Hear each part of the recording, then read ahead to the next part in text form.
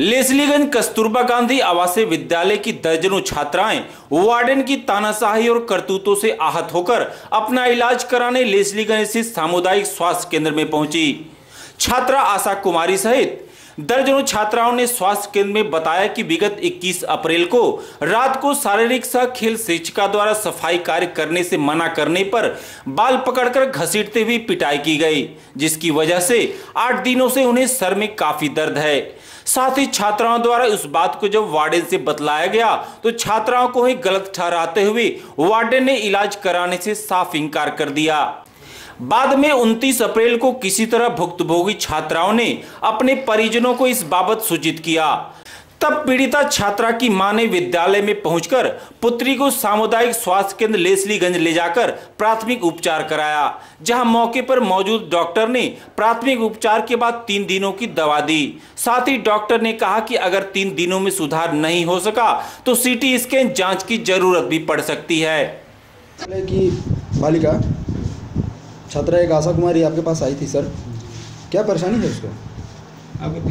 उस बच्ची का कंप्लेन है उसकी माता पिता उसकी माता के साथ आई थी और उसका दिक्कत था कि उसकी टीचर वार्डन उसको बाल पकड़ के मारी।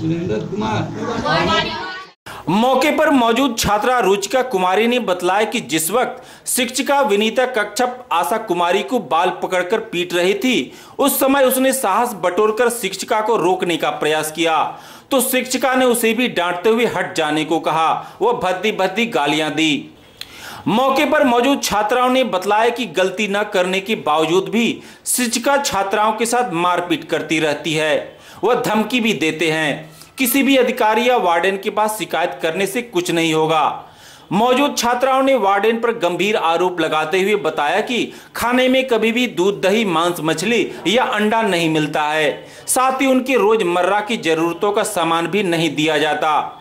मौजूद अभिभावक ने कहा कि अगर विद्यालय में आगे भी यही हाल रहा तो बेटियों की पढ़ाई के लिए इस विद्यालय में भेजने से गुरेज करेगी। लड़की इसकी बात पढ़ी है, रांची में गई है, यहीं से।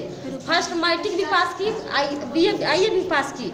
अब बी सी पढ़ रही है रांची। लेकिन ऐसा कबो नहीं हमरा खबर मिला था। लेकिन अचानक अभी खबर मिला हम बच्चे के लेके हॉस्पिटल आए। ये वार्डिन ऐसा आ गई कि हमको पहला बार ऐसा मिला सुनने के लिए। क्या बोली कि वो पेंसिल से मिटा मिटा के लिखने के लिए कहती है कहती है रबड़ से मिटा और पेंसिल से लिखो।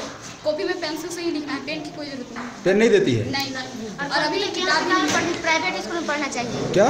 बोलती है ना प्राइवेट स्कूल में पढ़ना चाहिए यहाँ पे क्या पढ़ती हो? अगर इतना अच्छे तो लोग को सुविधा है तो। और सुविधा है तो प्राइवेट स्कूल में चली जाओ। जब बोलते है ना सुविधा है तो प्राइवेट स्कूल। विरोध करती है। अगर हैं हम लोग अगर हम लोग विरोध करते हैं तो कहती है कि सेक्रेट हार्ट में फिर क्यों नहीं पढ़ती? हो इतना अकड़ के बात करोगी। तो सेक्रेट हार्ट में जाओ। क्यों नहीं पढ़ती? हो क्या प्रॉब्लम हो गया? इलाज करवाने के लिए हैं। क्या हो गया? हम लोग को बहुत सारा प्रॉब्लम है। क्या बताओ? पेट में दर्द है माथा में दर्द है शरीर में दर्द हो रहा है। क्यों दर्द क्यों खाना नहीं मिल पाता है? इसकी वजह से ऐसा हुआ है। खाना नहीं मिल पाता है? नहीं सही ढंग से बिल्कुल खाना नहीं मिलता है। सुबह नाश्ते में क्या मिलता है? सिर्फ़ चना उसके बाद कुछ नहीं। और उसके बाद रोटी सब्ज़ी। कभी अंडा उंडा नहीं मिलता है। मांस मछली कभी नहीं। नहीं दूध दूध भी नहीं मिलता है। नहीं नहीं कितना दिन पहले दूध मिला था? बहुत पहले मिला था मालूम चला कि, कि मैडम मारपीट भी बच्चे लोग करते हैं। हुआ है हैं? किसको? किसको मारी? तुमको? किस कारण से मारी थी? सिर्फ़ सफ़ाई के लिए मारी हम सफ़ाई नहीं करी ना हाथ से जूठा कचरा भी निकली बोल रही थी। क्या बोल रही थी? हाँ से मतलब जूठा बिकने के लिए बोल रही थी मजबूरी में हम लोग फिर बोले कि हम नहीं भीगेंगे तो इसीलिए हमको मार रही थी पूरा नाटक करने के लिए जा रही थी पूरा बाल पकड़ पकड़ के हमको मार रही थी घींच घींच कर। कौन मैडम मारी थी? क्या नाम है उनका? प्रीता मिस नाम है प्रीता। विनीता विनीता।